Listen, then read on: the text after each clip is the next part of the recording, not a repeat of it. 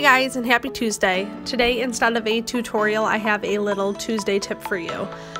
Um, last weekend I was in the Wisconsin Dells all weekend. That's what this gorgeous wallpaper is behind me if you weren't recognizing my normal background. Uh, we spent the weekend in pools, lazy rivers, going down water slides, talk about a lot of chlorine.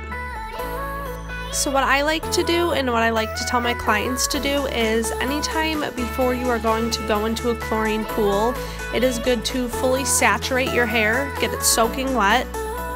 You can use any sort of filtered water, tap water, anything that doesn't have any harsh chemicals or minerals in it. Um, here I'm doing it in the bathroom sink before we head down, but you can do it in the locker room at a pool, can dump a water bottle over your head before you get in, whatever, just get your hair soaking wet. So the reason that we do this is your hair is a lot like a sponge. It is a porous material that absorbs liquid. So say you were to take a dry sponge and dunk it in a cup of water, it's going to absorb a lot of that water, as much as it can hold. In this case, your hair is absorbing a lot of that chlorine that's inside of the pool water, which we all know is terrible for our hair. Now say you were to take a soaking wet sponge and stick it in a cup of water, it's not going to absorb nearly as much because it's already full of moisture.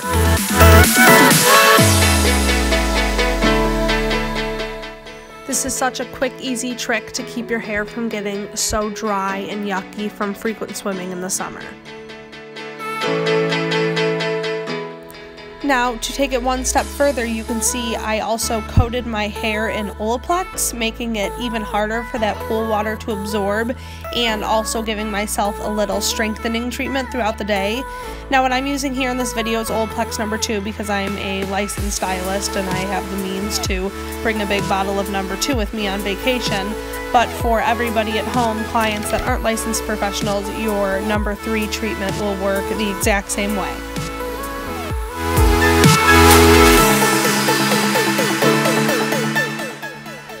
For those of you who don't know much about Olaplex yet, let me explain a little bit. Olaplex is a three-part strengthening system unlike any product you've used before. It is a bond reconstructor. In case you didn't know, your hair is made up of a bunch of disulfide bonds. When you do anything to your hair, whether it be mechanical or chemical damage to change your hair in any way, so curling it, coloring it, straightening it, lightening it, perming it, etc., etc., bonds get broken. Olaplex has a patented ingredient that puts these bonds back together on a microscopic level to make your hair stronger and healthier. Parts 1 and 2 are done in the salon, and the third part, Olaplex number 3, is the take home weekly retail treatment.